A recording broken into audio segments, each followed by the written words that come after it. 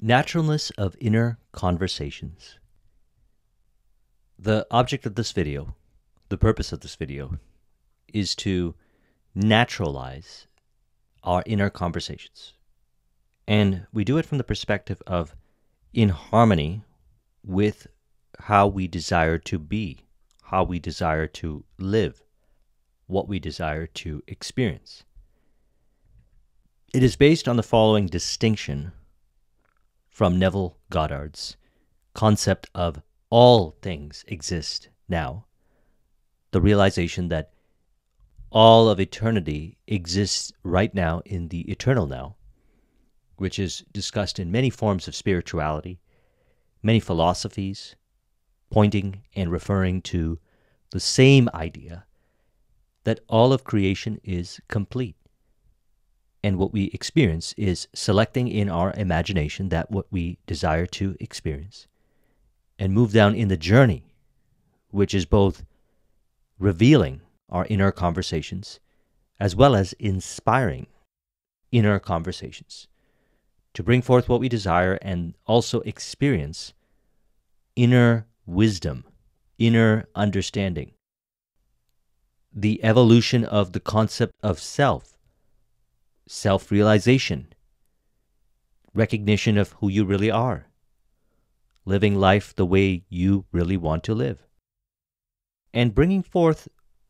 peace, understanding, and relationship between yourself, the sixth sense of the inner world, the five sensory experience, which includes people, environment, circumstance, and information, bringing us to a higher level of calm and understanding.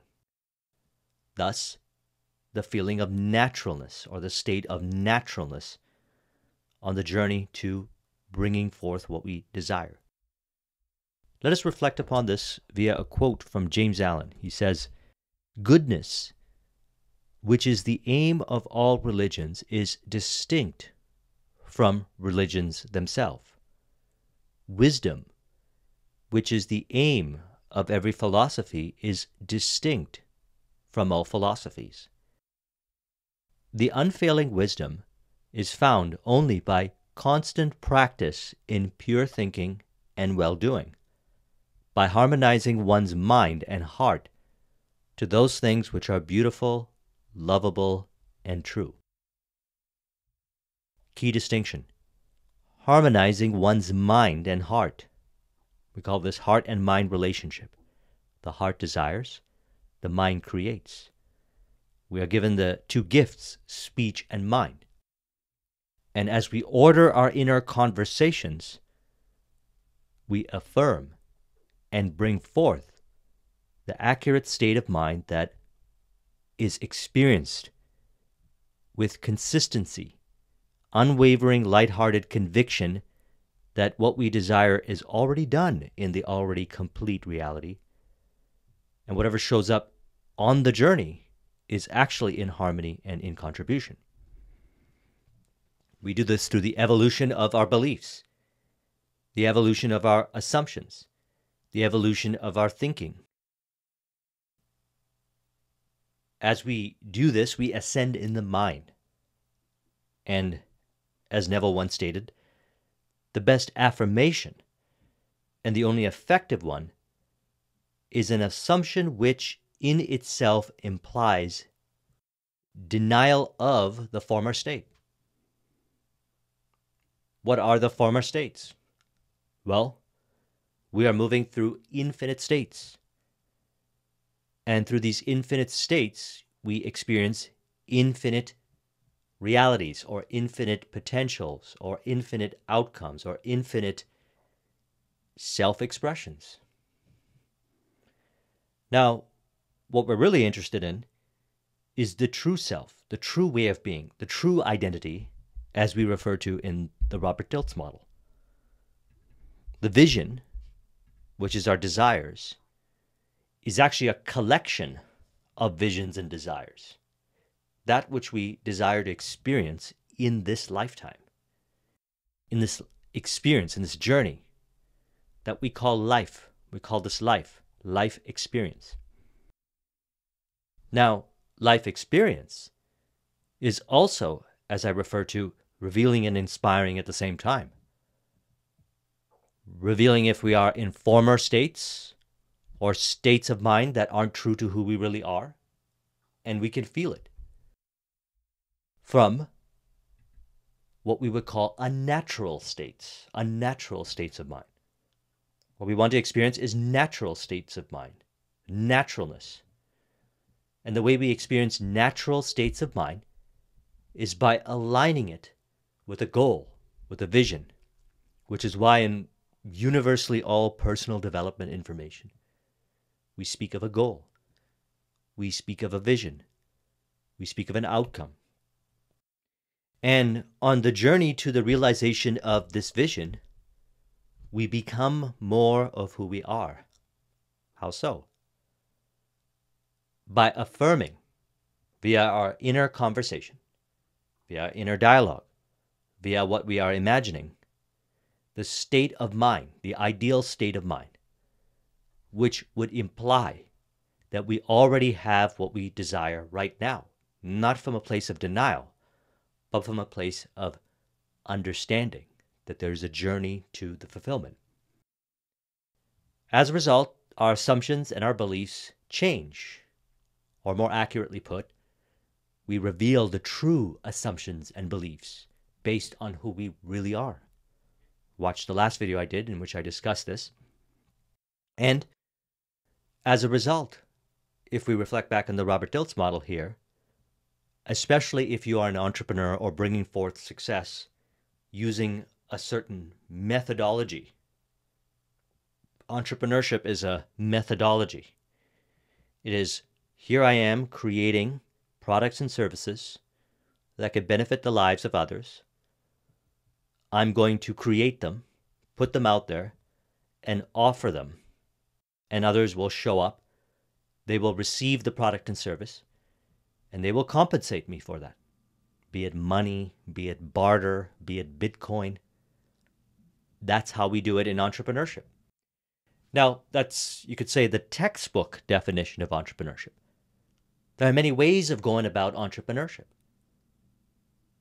And what many of us are discovering now is the spirit of harmony based entrepreneurship.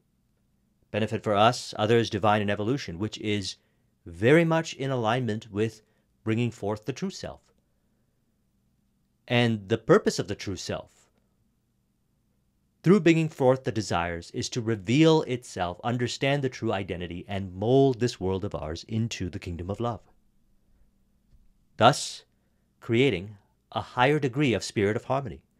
Harmony within, harmony with the outer world, harmony with people, with environment, with circumstances, with information, bringing forth the kingdom of love. That's done through our capabilities, our behaviors, our environments, as well as ways that the conscious level of our being does not currently know.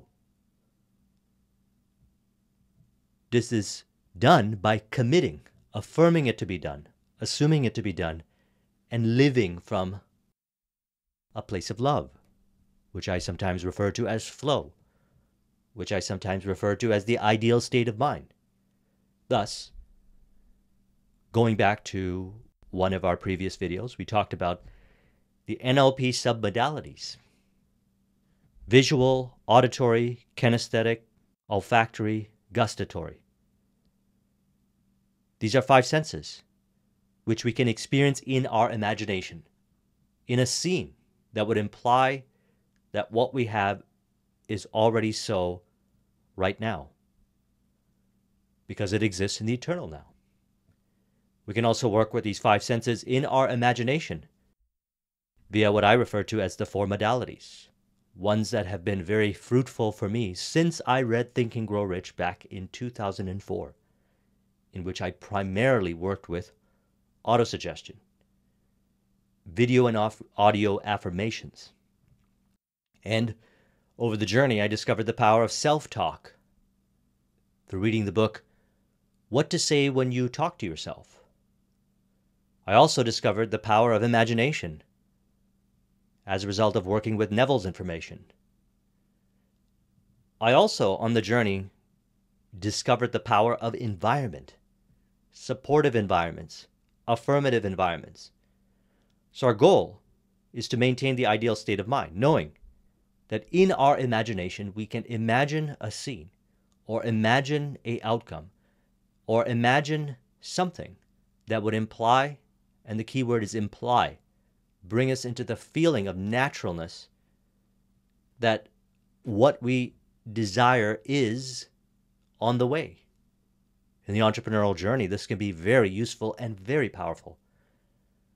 I work with sales professionals, sales teams, and one of the key, you could say secret, but it's not really a secret because this is talked about in many sales training organizations, is to bring the sales reps into an ideal state of mind. One where, in that ideal state of mind, they approach the prospect and engage in a conversation, a mutually beneficial, natural, flow based conversation. And they reveal through the conversations the pains, the desires, the frustrations that the client or prospect is experiencing. And they're able to re articulate it in a way, natural, subconscious flow, that builds the like and trust to the sales rep as well as the product and service. They're also able to visually, auditory, kinesthetically, olfactory, gustatory, if needed, paint in the prospect's mind's eye what it would look like if it was true that they would be receiving the benefit of the product or service.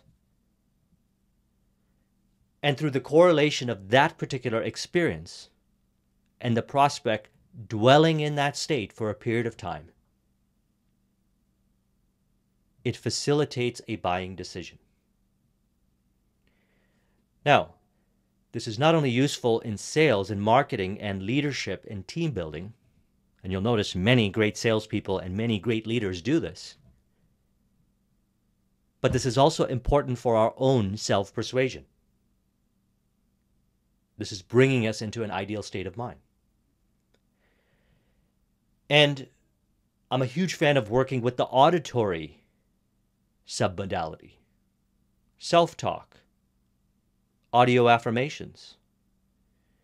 And they've always been beneficial for me. And even if you reflect back on your particular journey, as you had learned this information, chances are you were also consuming this information via auditory audio programs, podcasts, videos on YouTube that you might not even be watching, but listening to what the speaker has to say. Through those audio conversations, you were learning about yourself.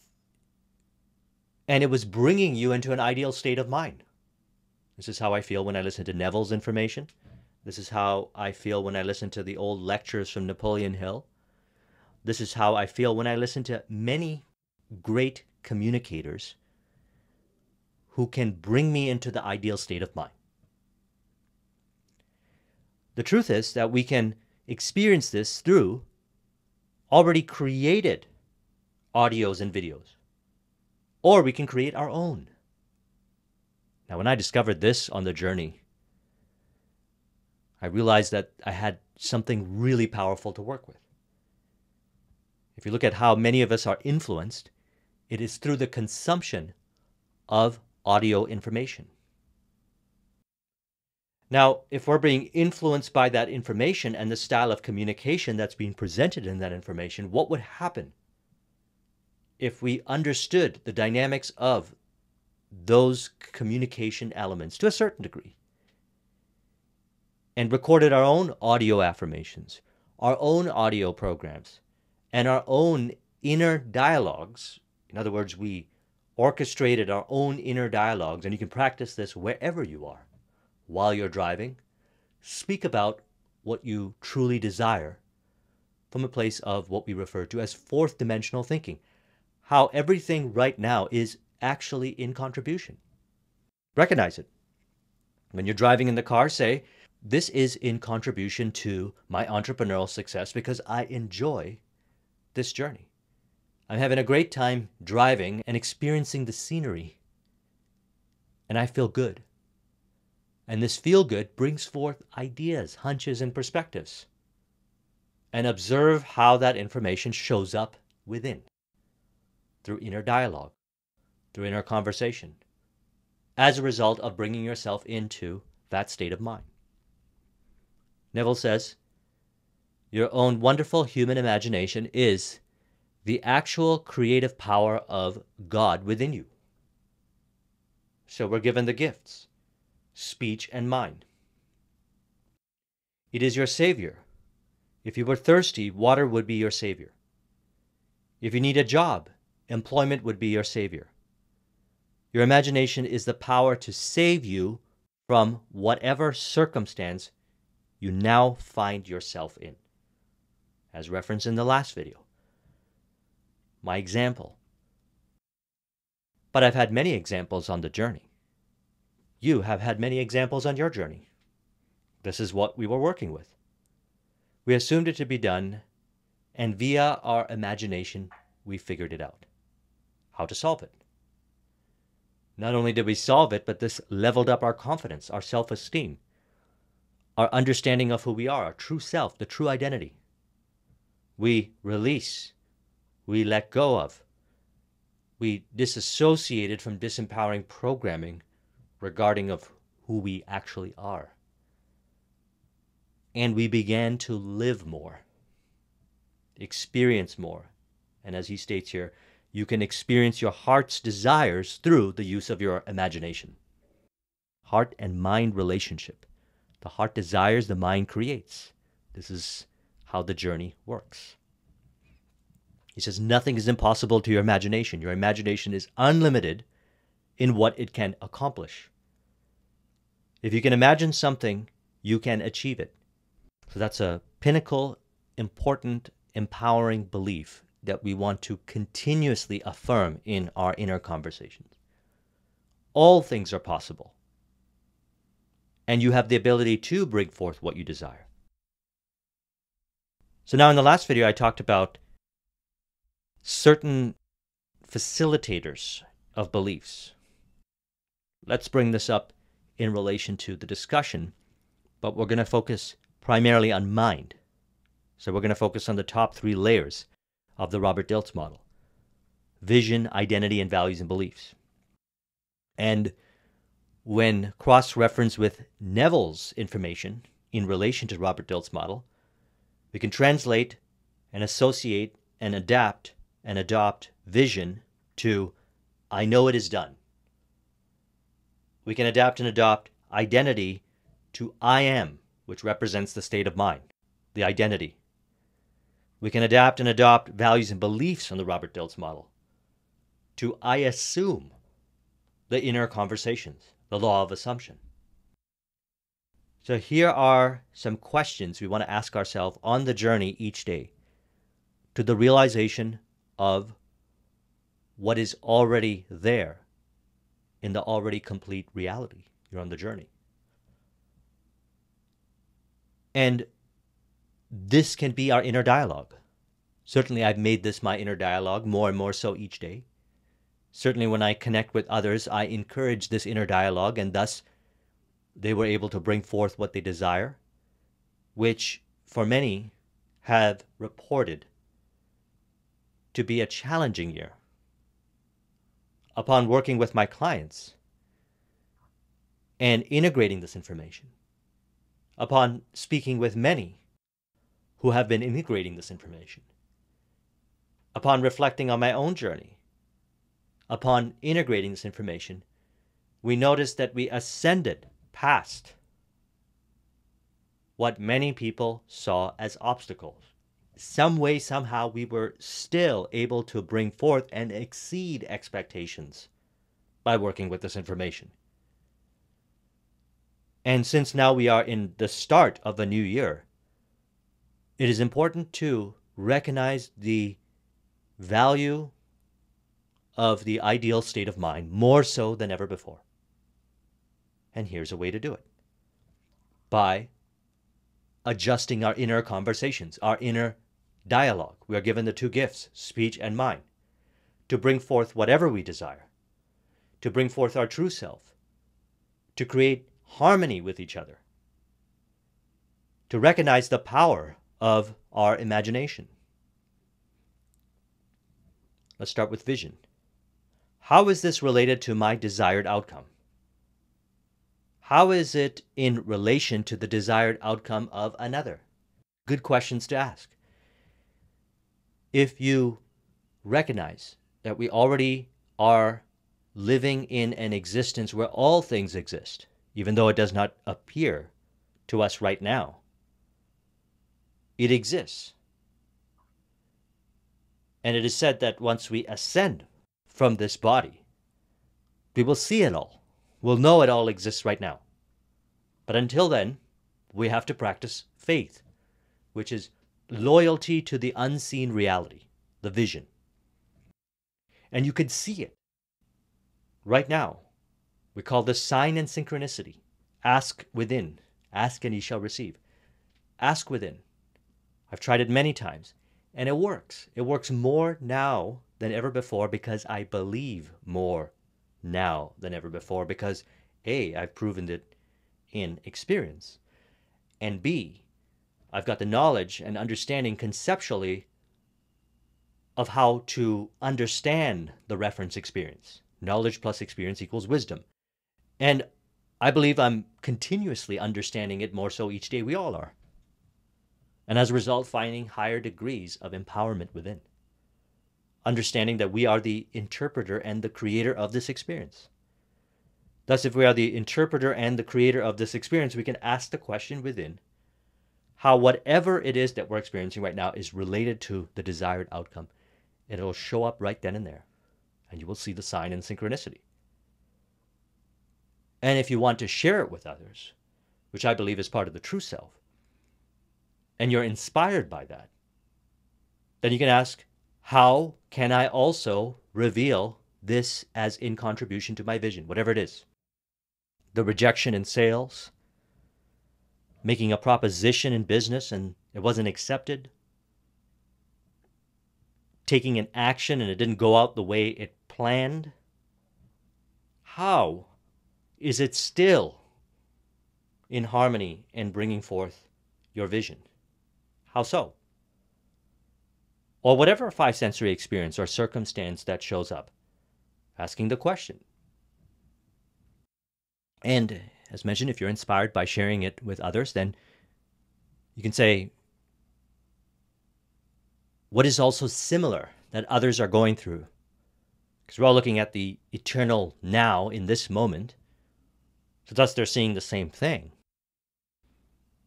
They may be interpreting it different and thus having it reflect on the screen of space as individualized experience. But there must be parallels. Now, when we find that interpretation, the accurate interpretation, it'll bring us into our ideal state of mind. It is akin to having somebody sitting beside you who you would consider a mentor. And you reveal to them a problem that you're having in business. Maybe they say, or maybe you say, whatever the reason may be, the information that I put out is not resonating with people. And the mentor, having the experience, reflects back and says, Are you sure it's not resonating with the people? Or are they inspiring you and revealing what to talk about next? So then you go and you check the responses, the feedback, and the mentor helps you see what it is that your audience wants to hear. And as a result of that, you feel empowered. You bring yourself in the ideal state of mind. The truth is this you could have done that with the mentor, you could have done that with yourself. We just may believe that we need to hear it from somebody else. And we can if we want. Nothing wrong with that. We can hear it from others and we can hear it from ourselves within. It's preference. Next is I am, which is the identity. How can I see this affirm my desired outcome? How can I see this affirm my desired outcome for another. Changing the meaning, reinterpreting, re assimilating the experience in the imagination as in harmony and in relation, such as, let's say on your entrepreneurial journey, you create a product, you put it out there, and nobody buys. You may assume it to not be in harmony with your vision. When you make that assumption that it's not in harmony with your vision, you imagine yourself failing. You now step into a different state of mind. In that particular moment, you recognize something does not feel natural. I want to step back into, as Neville refers to here, the best affirmation, and the only effective one, is an assumption which in itself implies denial of the former state. I want to put off the former conversation and I want to step into the accurate conversation, one that reflects the vision. That is my ideal state of mind. I am the ideal state of mind. You can do that by asking the question How can I look at this five sensory experience in a way that would imply that it is on the way? It is the journey to the destination, and this is part of it. Well, Again, let's say you have the mentor beside you. The mentor says, Well, you created this product, you put it out there, but do you really believe that this is of value? You reflect back and you say, Actually, I don't. I really don't believe it's a value. And then you ask the mentor, How do I know what is a value? And the mentor says, You know the answer. You know what people are looking for. And you know that what people are looking for is what they're going to pay for. And because the mentor spoke with such conviction and affirmation, you went back into the ideal state of mind. And then from there, you brought forth the innovation. Again, this is what we do in consulting. Many consultants who understand the power of self persuasion and representing in their own mind's eye the client as already having the success speaks to the client based on that identity. And they both affirm that same state of mind. They get into that state of mind and they dwell in there. And in that ideal state of mind resides the hunch and inspiration. It was always there. This is the eternal now. And we're all experiencing the eternal now from the individualized journey.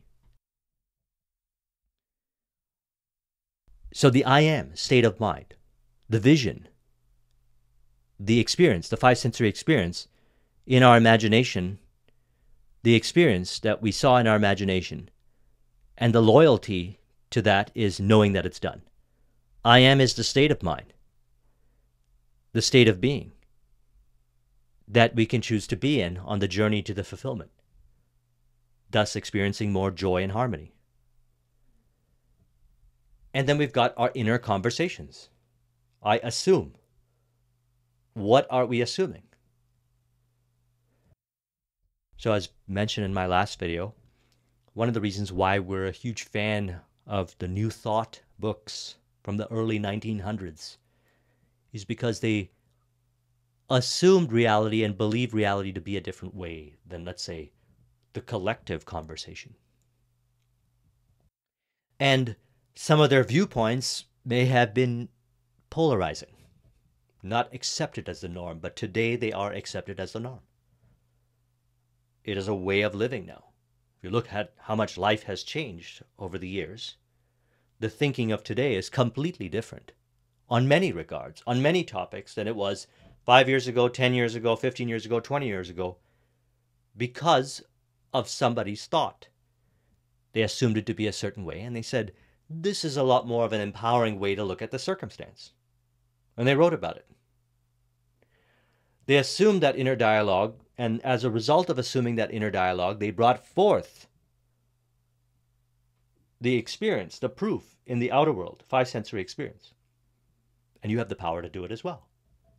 And if you want, after you have brought forth based on experience, you can share the experience. You can reflect back on what you have learned from others and add to the discussion. This has been one of the main reasons why I started this channel. I said, not only back in 2013 do I want to share my experiences of how in 2009 I left corporate and by 2013 I transitioned out of my first business figuring out what to do next. But I also know that I could learn more about this stuff. This was something that I heard Bob Proctor mention one time. When he built his first business, it was a cleaning business. He said he got it up to a certain level of success and then he wanted to know what happened to him because what he was doing was he kept reading Think and Grow Rich over and over again and his mind rearranged. So he went on the journey of understanding it more so and then teaching it and building it up more so. Well, you could do that if you'd like. And even if you don't do it in a formal setting like that, whether you teach it on YouTube or on Instagram or whatever platform, off the platform, physical platform, on the stage, you can infuse it in your relationships. You can infuse it in your organizations. You can infuse it in your family. And that has a double effect. It's an affirmation in itself. Because the more we have conversations on particular trains of thought, the more it affirms itself to be that. And as a result of the affirmation of it being that way, the mind reflects it in the five sensory experience. And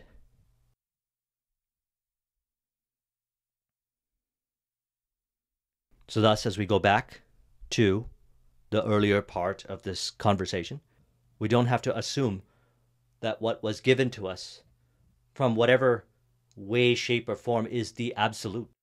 We can ascend in our mind past it. Wisdom, he says, which is the aim of every philosophy, is distinct from all philosophies. So build on the foundation. Take this information that I share. Take the information that is available. These new thought authors have released their rights. It's in the public domain.